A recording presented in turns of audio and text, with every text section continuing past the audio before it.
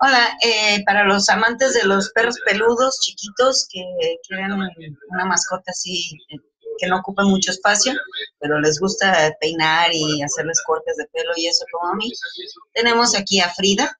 Ella este, vino de otro refugio, fue rescatada por Concha Camarena, eh, pero como Concha se llamó Mis Perras Grandes, yo acepté varias de las perras chiquitas de Concha y esta pequeña, pues como verán, ya le corté el pelo, ya tiene el corte de uñas, ya tiene la vacuna antirrábica.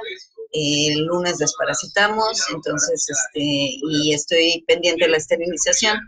Pero pues vayan pensando en Frida si quieren una, una coqueta chinita para sus, este, para sus hijos.